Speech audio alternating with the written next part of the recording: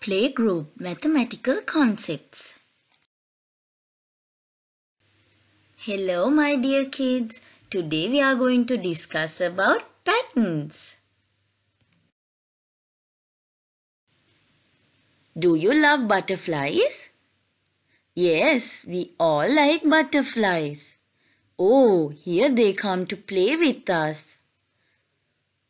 A red butterfly a yellow butterfly, a red butterfly, and again a yellow butterfly, a red butterfly, a yellow butterfly. This is the pattern of red and yellow butterflies. I met two new friends during this holiday, a bunny and a porcupine. The bunny likes to eat carrots. The porcupine likes to eat apples.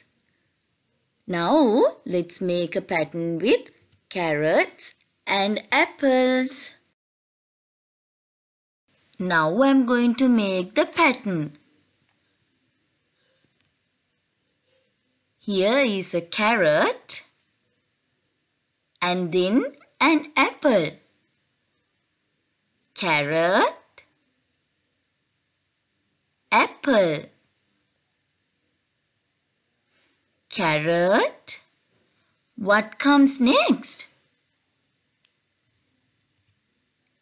Apple. The answer is apple.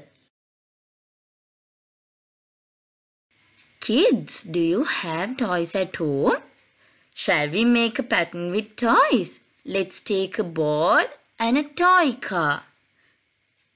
Again a ball and a toy car. What comes next? Who can tell me? Yes, it should be a ball.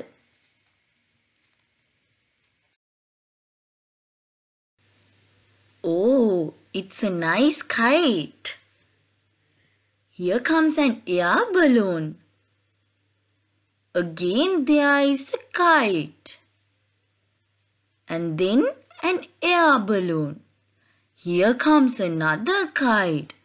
Can you see a pattern in the sky? What comes next? Is it a kite or an air balloon? It should be an air balloon. Now we are going to look at another pattern. Here is a boat. And then there is a dolphin. Again there is a boat. And then a dolphin. Oh, another pattern in the sea. What comes next? It should be the boat or is it the dolphin? The answer is boat. Shall we play a game? Guess what comes next in each pattern. In this pattern, there is a bee and beehive. A bee and a beehive. What comes next? Is it the bee or the beehive? The answer is bee.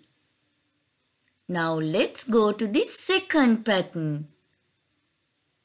There is a tree and then an apple. Tree, apple. What comes next? Is it the tree? Or the apple? The answer is tree. Kids, I know now you all will be able to identify different patterns. Let's meet again with another interesting lesson. Till then, take care and stay safe. Bye.